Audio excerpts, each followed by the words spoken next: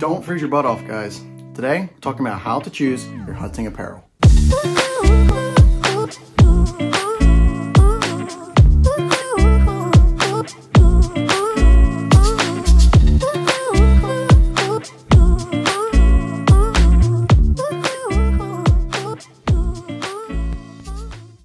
Guys? Welcome to the Buva Crew. If you're new here, hit that subscribe button. Also, if you find value in this video, give it a like. And if you want to check out the gear and the apparel that we talk about in today's video, there'll be links in the description. But I started off this video by saying don't freeze your butt off because freezing your butt off in the tree stand or wherever you're hunting sucks. It is just awful. Also, on the other end of the spectrum, you don't want to be like sweating in the tree stand because that also sucks as well, kind of. It, yeah, it's not fun. Well, today I'm going to talk about choosing your hunting apparel what you need to look for, what you should buy, and what you need based off of where you're hunting. And that's actually my first tip to you. Know where you're hunting. If you watched the last video, I talked about choosing a place to hunt, how to choose it, and all that stuff. So that's my first tip for you guys, is actually choosing where you're hunting and buying apparel based off of that decision. If you haven't seen the last video, go check it out. I talked about how to find a place to hunt. Go check that out so you'll understand kind of where I'm going here. So the factors you want to look at when buying apparel based off of where you're hunting are things like the country and the state, the climate, the season you'll be hunting in, the terrain, and the overall conditions that you will encounter. Now, once you know these things, you're gonna choose your layers. Choose them wisely though, because you don't wanna overlayer, but you don't wanna underlayer because those could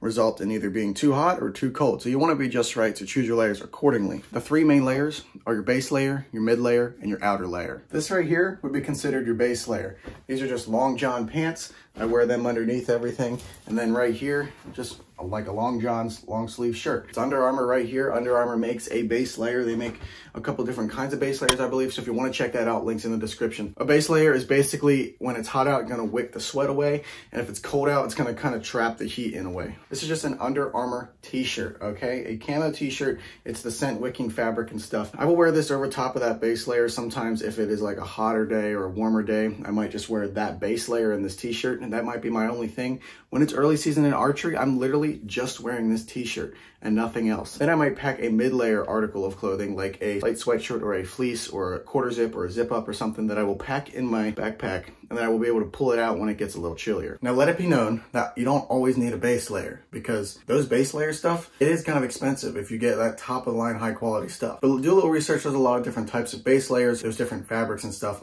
For me, I don't always wear a base layer. I only wear a base layer in certain conditions. If it is like a very, very, very cold one out, I will wear a base layer like that because I'm still very mobile and it doesn't restrict myself. Back in the day, I used to layer up like seven layers when it was cold out and it would just get rid of all mobility that I had. Now the second layer is the mid layer and I think this is the most important layer because this is actually kind of where, in my opinion, where the heat is trapped in. So this right here, this is just a zip up fleece type thing from Cabela's. It was 20 bucks.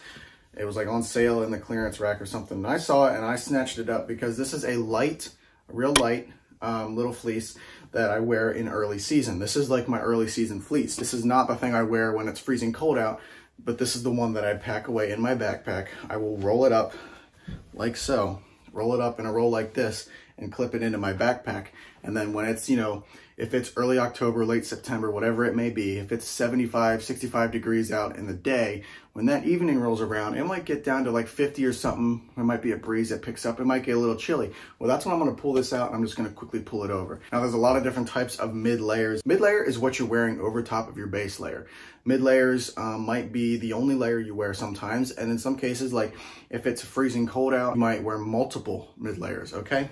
So another one of the mid layers that I wear when it comes around to ar uh, archery season, you know, or November, whatever it may be. This is uh, an Under Armour Ridge Reaper sweatshirt.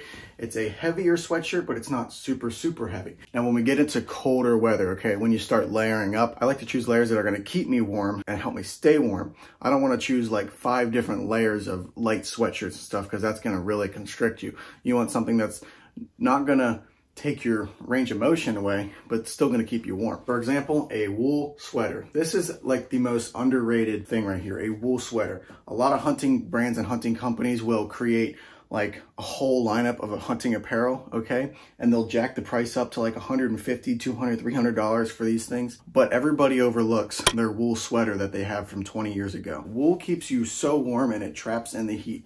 One thing that I do personally, when it's freezing cold out, I'll wear a long sleeve shirt and then I will throw this on right here. Then I'll throw a sweatshirt over it and then I will actually wear a vest. And then finally, when it's freezing cold out, I have a heavy sweatshirt. This is a heavy Carhartt sweatshirt, and this is uh, something that I will wear over top of, say, the wool sweater. It's big, it's gonna keep me warm, trap heat in, but it's not super tight, so it's not gonna feel constricting. It's loose, but like I said, it's heavy. I have a couple um, types of heavy sweatshirts. These are really nice because sometimes I don't like to wear um, a big heavy coat. I like to layer up with um, heavier mid layers and then I will wear like a vest, like a Carhartt vest or uh, my Sitka, which is just basically a, a raincoat and it kind of just locks all the heat in and keeps me nice and warm. So now we are at our outer layer of clothing. This is the layer that's going to protect you from the elements like the rain, the wind and all that stuff. And for me, this is the layer that I like to wear that locks everything in, okay? We're wearing our sweatshirts, our sweater, our wool sweater. We're wearing the things that are creating the heat, okay? Now I want something that's actually gonna lock it in. For some people, this may consist of maybe a down coat or something, or maybe a heavier insulated coat. Sitka makes like a Sherpa, like a heavier Sherpa type um, line of clothing that's like for the freezing cold whitetail woods and it's like a heavier jacket and, and stuff. So some people might wear something like that. For me, for a long time, my outer layer was actually this mossy Oak uh, like archery coat more likely. Um, it was like 25 bucks at Walmart. So this would be my outer layer. The only time I ever wore a heavy insulated coat was gun season and I used to have a really heavy insulated coat. Then one day I got a Sitka coat. So this right here is a Sitka downpour jacket.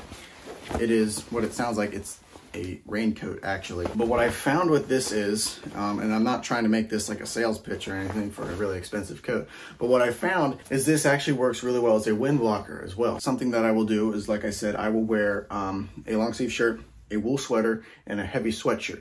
That's gonna create all that heat. Then I will wear this to lock in the heat. It works as a raincoat, a wind blocker, and a heat locker per se. One thing I like about this is it zips up really far. So when I pull the hood up or something and I can zip it up, it actually comes like all the way up to here and it blocks the wind out and keeps me actually really warm. So this became my outer layer. Now I talked about a vest as well. So one thing I started doing this year is I got a Carhartt vest, okay?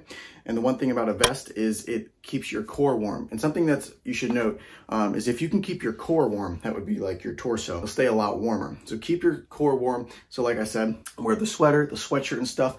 Then I'll wear that Carhartt, uh, that vest that actually locks everything in um, kind of keeps that core warm and everything kind of tight to my torso, but I still have full range of motion with my arms, okay? And then I will wear that Sitka over top. Now, if it is absolutely freezing, one thing you can do, like I did, is I also have a heavy, like a big, heavy Carhartt coat. That's a big insulated coat. And I did, in fact, actually this year, wear that out hunting. I was going fox hunting, there was snow on the ground, it was freezing cold. So what I did is I just said, I'm not gonna wear anything camo or anything, I'm just putting on this big, heavy coat. And that's what I did. I just wore this big heavy Carhartt coat over top of a sweatshirt and stuff. And that kept me nice and warm. So that's the thing I want to cover next is camo patterns. Now there was lots of camo patterns out there. There's Real Tree, Mossy Oak. Those are two very popular ones. There's Sitka, which is an expensive one. There's Kuiu, which is, I think that's how you pronounce it, which is equivalent with Sitka. Then there's other ones. So there's Azio, there's Numa. I think that's how you say it.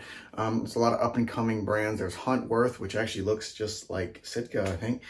And then there's stuff, there's First Lite camo, and there's just so many types of camo patterns out there. It's like, which one do you choose? It's so overwhelming. This is when money comes into play, okay? You could go to Walmart, you can get your Mossy Oak camo pants.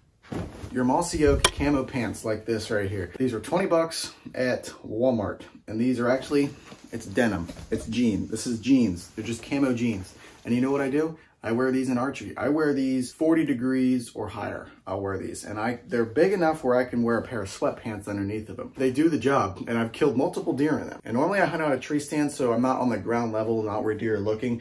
Deer will though look up and, and see you sometimes, but I like to hunt above the deer get a better bird's eye view. But camo is still in a way important, but I just wear these. It's Mossy Oak. Mossy Oak has proven themselves time and time again. And I wear these. These are my hunting pants in archery season. And then I have, when it's cold out, I have a pair of bibs, which is a heavy insulated pair of pants. If you know what bibs are or, or overalls, whatever you want to call them. I wear bibs. They're a real tree and I wear them when it's cold out and they've kept me warm and I've shot deer in them. Of course, then there's other patterns like Sitka right here. This is an expensive one. Sitka claims that this pattern right here, deer literally can't see it. It messes with their eyes and they can't see it. That's what they claim. You know, I've, I've yet to have a deer pick me off when I wear this. Maybe it works, maybe it doesn't. But that's one of those things. Money comes into play. And if you want to spend the money, you can get Sitka or something expensive. If you don't want to spend the money and you're just getting into it, get those Realtree pants at Walmart. They're 20 bucks. You can get a whole set of hunting clothing at Walmart for under 100 bucks. And the last thing I want to talk about is other gear, basically. That would be hats, gloves, socks, and boots.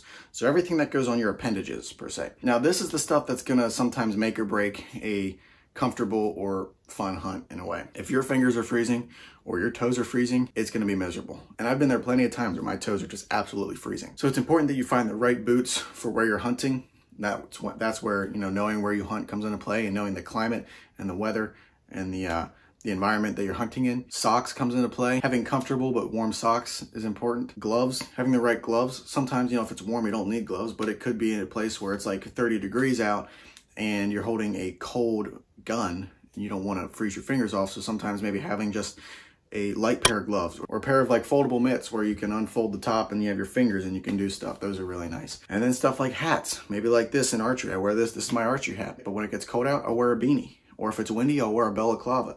Or in some cases, if you're like turkey hunting, you might want to wear like a face mask that's going to get the silhouette of your face out of the way because turkeys can see your face really well. So getting the right stuff is important. If you want to check out the boots and stuff that I wear when I go hunting, there's links in the description. My archery boots and stuff, I wear muck boots a lot of the time. Then my other pair of boots, I wear Rocky 800 gram boots. They're waterproof as well. So basically having the gear for your appendages is really important because you don't want to have freezing toes or freezing fingers because that is just not fun. Thank you guys for watching this video. If you enjoyed it and you found value, give this video a like. If you want to check out the gear that I talked about in this video, there'll be links in the description. And stay tuned for tomorrow where I go over some of the basic hunting gear you need, as well as some of the other things that will make your hunt better and more successful. Thank you guys for watching. We'll see you in the next one.